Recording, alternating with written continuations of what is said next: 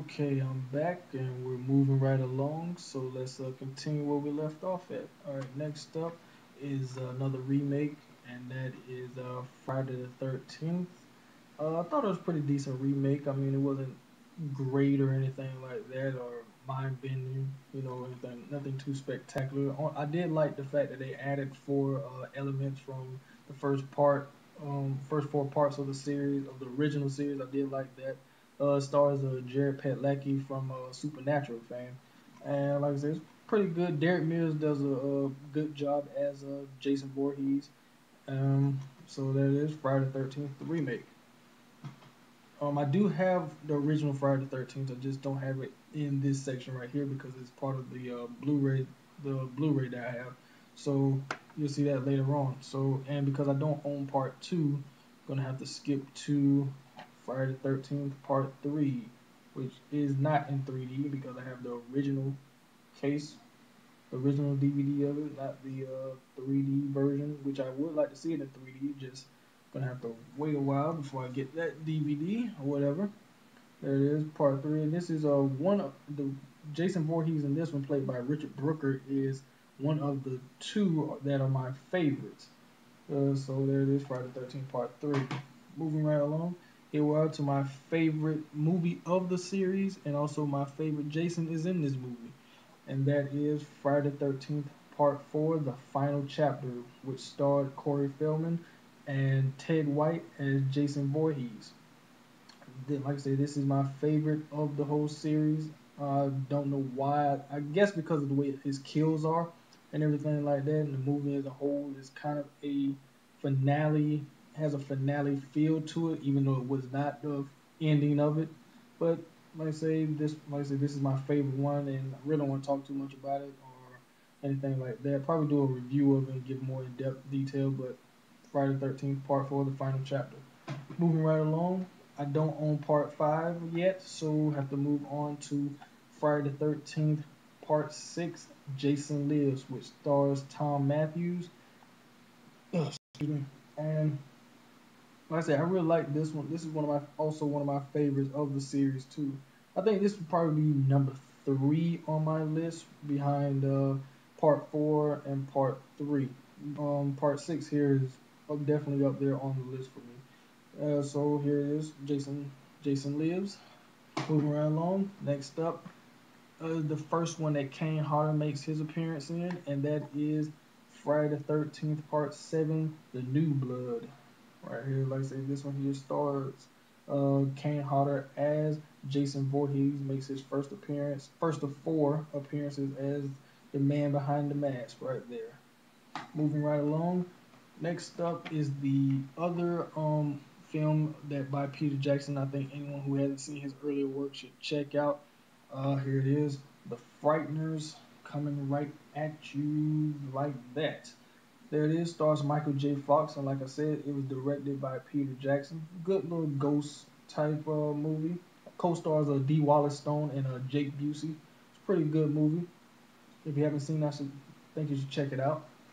Um, moving right along, this is the first of many that are going to appear later on by horror director icon, in my opinion, and that is John Carpenter. And this is his film, John Carpenter's The Fog starring uh, the man Tom Math- Tom Atkins, Thom Mathews, Tom Atkins. Wow, stars Tom Atkins, Jamie Lee Curtis, Janet Leigh, Hal Holbrook. Like I said, just all around. Even though it's a simple ghost story type movie. Oh, and Adrienne Barbeau, can't forget her as well. Even though it's a simple um ghost story type movie, but it is done very very well. If you haven't seen this one, I suggest check it out and forget about the remake because the remake was horrible. So the original here with John Carpenter, The Fog.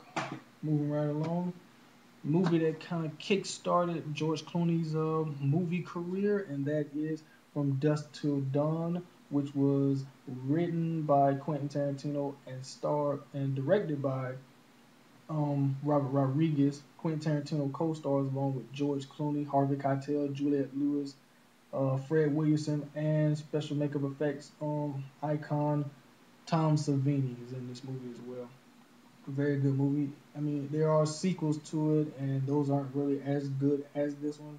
So I just I suggest that you check this one out if you haven't seen it. Moving right along, another movie by Robert Rodriguez, and that is Grindhouse Presents Planet Terror, which stars uh, Rose McGowan, Freddy Rodriguez, uh, Michael Biehn, uh, Josh Brolin, uh, Marley Shelton, just to name a few. Like I said, it was written and directed by um, Robert Rodriguez. Just all around great flick. Plus, you got uh, Bruce Willis makes a cameo and Rose with her machine gun leg. There it is on the back as well. Look at that. All right, moving right along is not not the original and might get blasted for this, but it's the only one of the series that I own so far.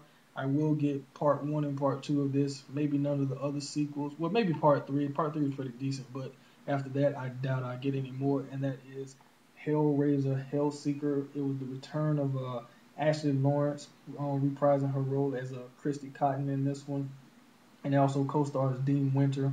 It was pretty decent. The time that I only watched this movie like once. It's pretty decent when I saw it. Nothing too great, anything like that. I mean, Doug Bradley is great always as Pinhead, even though the sequels got worse and worse as they progressed. But pretty decent if you are a fan of the series. So there it is. Moving right along. Um, the original two, um, the pre well, the original two, uh, Devil's Rejects, and that is House of a Thousand Corpses, which uh, once again will star uh, Sid Haig, Bill Moseley, and Sheri Moon Zombie, and was written and directed by her husband, Rob Zombie. Is. Moving right along here. Now, I'm not really big on this movie, but I mean it is it is what it is basically, and that movie is House of the Dead.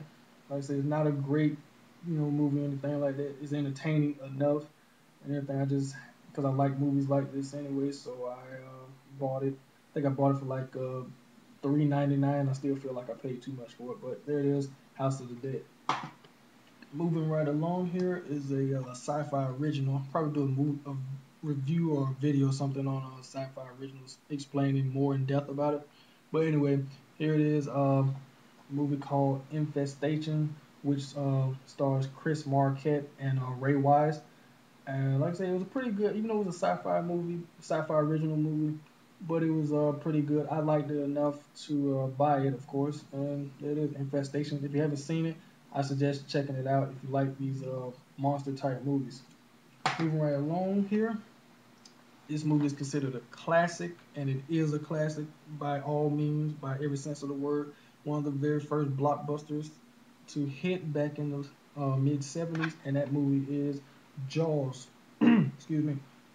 And it stars uh, Roy Scheider, uh, Richard Dreyfuss, and Robert Shaw as Quint. Quint gives a great uh, monologue here about the USS Annapolis, Indianapolis, and that's one of my favorite scenes in the movie. The last part with the three men on the boat against the shark is probably some of the best filmmaking in movie history, in my opinion. And it was written, it was directed by uh, Steven Spielberg. So there it is, Jaws. Moving right along, here's another uh, childhood uh, movie uh, favorite of mine, and that is Killer Clowns from Outer Space. There it is. It is considered a cult classic, and it is by all means. I mean, this movie is over the top and everything, but it's still an enjoyable movie. If you haven't seen it, I highly recommend checking it out. Our next up is Land, Land of the Dead. Now, the reason why I have my hand covering here, if you've seen my other uh, video about uh, George Romero's Land of, about this um, movie in particular, excuse me, movie in particular, you'll know why I'm not saying anything about this one. So if you watch the other video, you'll see why I don't say I'm not saying anything about the Dawn of the Dead on here. Uh, but anyway, I got this mainly for Land of the Dead. So it's pretty good um, sequel to the continuing uh, Dead series that George Romero has here. And there it is, Land of the Dead. All right, moving right along. And this is the last one I'm going to do for this video and that is uh, the remake of uh, Last House on the Left. I haven't seen this one yet. I had this on a previous video explaining why I haven't watched it yet. So that's all I'm going to say on that there. And I will be right back with another video continuing on my horror movie collection. Hope you guys are enjoying so far. Peace.